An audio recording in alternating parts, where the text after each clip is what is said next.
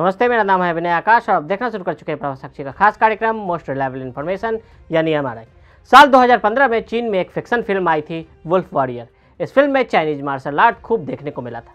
Film में लोकप्रिय अभिनेता वू जिंग मुख्य भूमिका में नज़र आए। फ़िल्म में एक चीनी कमांडो अफ्रीका, अफ़गानिस्तान में अमेरिकियों की जान ले लेता है।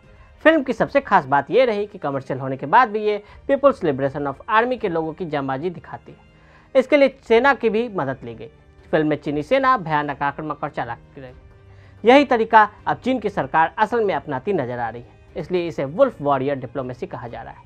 वुल्फ वॉरियर डिप्लोमेसी जैसे शब्दों का इस्तेमाल चीन के राष्ट्रपति शी जिनपिंग ने 2019 में चीन के लिए बढ़ते अंतर्राष्ट्रीय चुनौतियों के बीच किया था। जिनपिंग के मुताबिक चीन तेज़ी से तरक्की कर रहा है। चीन की तरक्की पश्चिमी देशों को पसंद नहीं आ रही, इसलिए अमेरिका और ब्रिटेन समेत कई देश चीन के प्रति ज़्यादा हमलावर हो रहे हैं।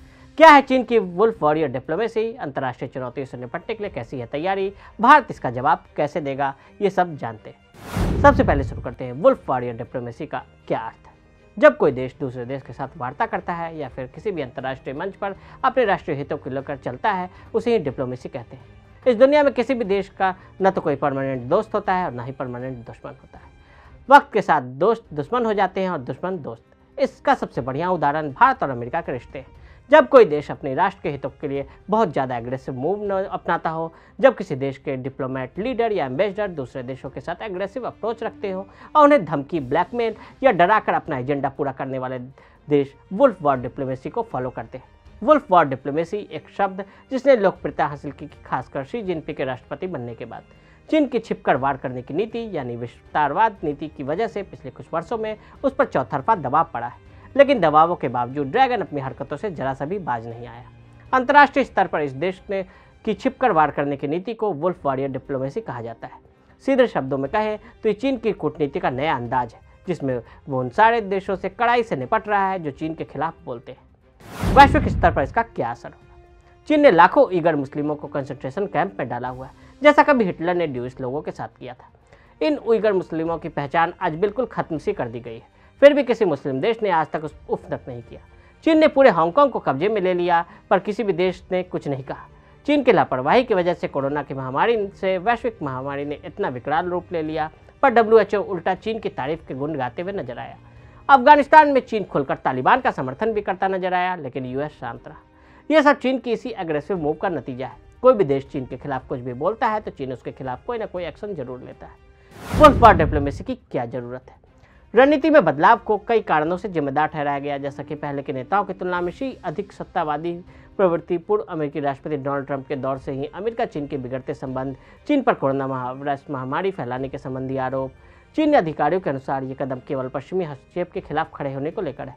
साउथ चाइना मॉर्निंग पोस्ट ने दिसंबर 2020 में चीन के विदेश उपमंत्री ले यूचिंग के हवाले से कहा कि जैसे को तैसा जैसी थ्योरी है ये। ले ने बीजिंग में एक विश्वविद्यालय में एक सम्मेलन में कहा कि जब हम, वे हमारे दरवाजे पर आ रहे हैं, हमारे पारिवारिक मामलों में हस्तक्षेप कर रहे हैं, लगातार हमें परेशान कर रहे हैं, हमें अपमानित और बदनाम कर रहे हैं, हमारे पास अपने राष्ट्रीय और गरिमा की दृढ़ता से रक्षा करने के अलावा कोई विकल्प ही नहीं। कम्युनिस्ट पार्टी के स्वामित्व वाले चीन में सबसे बड़े समाचार पत्र पीपुल्स डेली ने दिसंबर 2020 के एक लेख में लिखा कि देश और लोगों के हितों की रक्षा करना चीन की कूटनीति के उद्दत मिशन के रूप में कार्य करता है। चीन की गरिमा का अपमान नहीं किया जाना चाहिए और उसके हितों को कमज़ोर नहीं किया जाना चाहिए। यदि कोई देश चीन की न्यायिक संप्रभुता का उल्लंघन करता है तो चीन को दृढ़ता से जवाब देना चाहिए, जो कि चीन की कूटनीति की निचली रेखा है।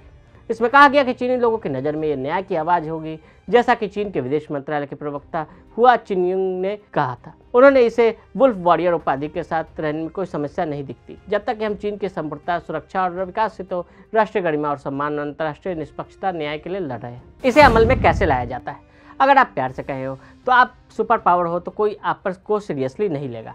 पर अगर आप सभी को पैसे की ताकत से डराते हो एग्रेसिव मूव अपनाते हो तो सभी आपको सीरियसली लेना शुरू कर देंगे।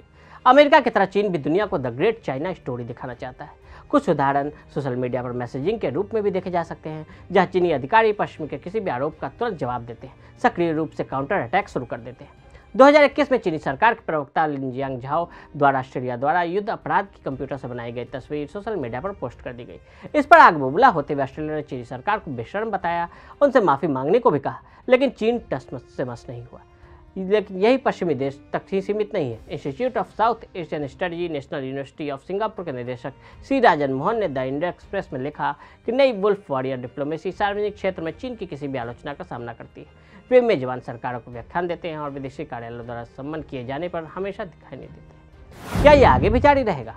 जिनपी के पहले हु जिनताओ जिनयांग जेमिन जैसे राष्ट्राध्यक्ष लो प्रोफ़ाइल और डिप्लोमेसी और सॉफ्ट पावर प्रोजेक्शन डिप्लोमेसी को फॉलो करते थे। लेकिन 2013 में शी जिनपिंग के आने के बाद से ही चीन के वैश्विक रूप में ज़्यादा बदलाव आया शी जिनपिंग को एक शक्तिशाली और अग्रेसिव नेता के रूप में पहचाना जाता है। यह कहना मुश्किल है क्योंकि चीनी राजनीतियों की टिप्पणी को देशों ने चुनौती नहीं दी।